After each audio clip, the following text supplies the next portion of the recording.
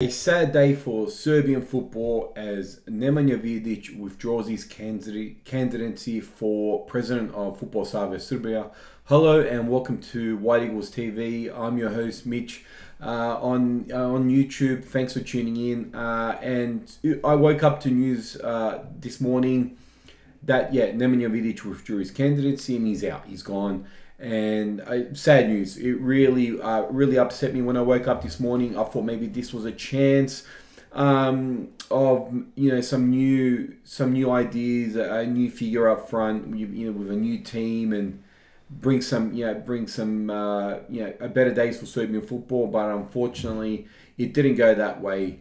Uh, the vote was meant to take place uh, to, well, on the 14th. It's 14 here in Australia, so it would have been uh, today, uh, tonight, uh, our time.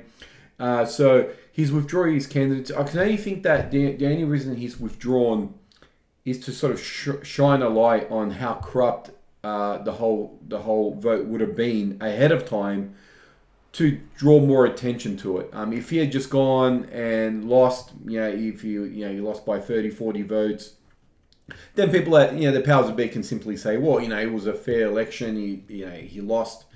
This is how many votes he got. His, Zajic got this many votes. Uh, so what do you want from us? But he's withdrawn early. Uh, in I, I, can only say in the hope of drawing attention from uh, you know the media in Europe uh, on how corrupt and how you know the criminals control you know the Savez and football in Serbia. So I found uh, this article on on American um, on American media. Uh, so I'll just read it. Um, so Nemanja on Monday withdrew his candidacy for president of uh, Serbian Soccer Federation, an organization which has often been accused of corruption, crime, and political influence. We all know that's true. So Bang on that. Uh, the only remaining candidate for the position is former player and veteran Red Star Belgrade official Dragan Zajic, which always knew was going to win, who's believed to uh, who is believed to be close to the current populist Serbian government. Uh, and Vidic released a statement in saying, uh, "Our soccer faces big challenges. Uh, many things must and can be improved. My idea was and remains to assemble a team of top professionals who are able to solve these challenges." Unfortunately, every step of the way, becoming the president of the federation, it was made clear to me we will not be given that chance. Uh, you know, short and sweet. Uh, and he goes on, uh, Zajic, the only remaining uh, candidate in Tuesday's election, has had legal issues tied to him in the past. I've spoken about this before and I've posted photos of him being arrested. Uh, was pardoned in 2011 by the then uh, Serbian president uh, from charges of fraud.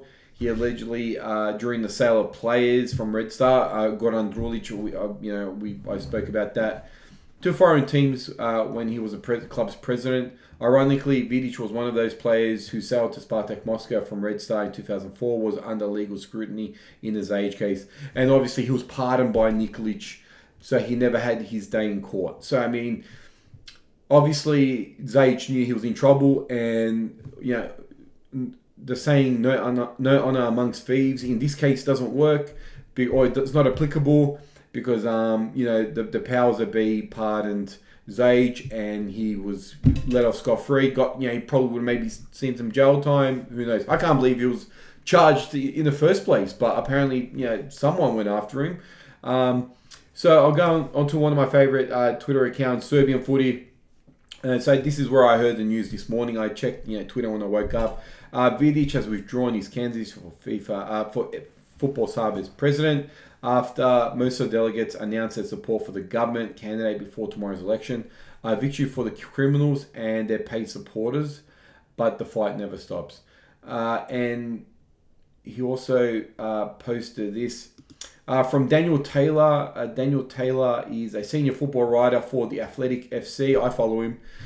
Um, so let's see what he said. He goes, uh, Vidic has withdrawn his candidacy, uh, withdrawn his bid to become the new president of uh, Serbia's FIFA, FA. Who can blame him?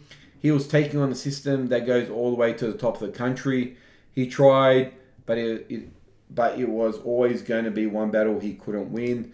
Um, and so this is when he interviewed uh, Nem on the 8th of, uh, of uh, March. This guy, by the way, is 41 now. But I, I still think he could do a job in the Manchester United defence. It was a pleasure to speak to Nemanja Vidic and hear what he has to uh, hear why he wants to become Serbian uh, president of, of uh, the FA. The Serbian football is dodgy beyond belief. This guy wants to clean it up. Uh, and there you have it. Uh, what else can we say? Um, it's not not known exactly what was happening behind the scenes. Hopefully, Nemanja comes out and, and tells us what was being told to him, what conversations he was ha- being uh, was having with delegates, what they were whispering in his ear in the back room, saying, "Them, get out of this race. You got no chance." Maybe he's um, I hate to think, but you know, most likely was you know he, maybe his personal security was also at stake, uh, and he's just taken the uh, probably the, the, the smart route and, and got the hell out of there. Not that I can blame him. Um, I, have just posted a, on uh, on my Instagram account, White Eagles TV. Uh, he's out. I just woke up to sad news that Vidic has withdrawn his candidacy. This is typical political bullshit from Serbia's deep state. That unless you're connected and corrupted, you have no chance of winning uh, support from anybody. I hope by doing this, it shows UEFA that the crooks are in charge of the game in Serbia. That's my two cents. Uh, that's what um, that that's what I believe. I, I, believe he's just withdrawn early to show you know UEFA you know what's what's actually going on in Serbia, and uh, maybe they can help. Maybe they can come in and, and, and apply some sort of pressure to the powers that be, but um, I doubt it. I really doubt it. It's it's finished now. Um, Zage will be president uh, uh, for the next four or five years. I'm, I'm, not too sure how long they run for. I mean, 78. Who knows if he can see out his term? He's an old man. Uh, watch one of his interviews. He's an old man. Um, and yeah, it's a sad day for football, Serbian football. What what changes from now? You know, we've got a Euros coming up into in yeah next next weekend, not this weekend, coming weekend after is when Serbia starts its Euro qualifying campaign. Uh, I, I, still expect us to qualify, but then after that, what uh, are we just a team that makes up the numbers? At this stage, I think we are.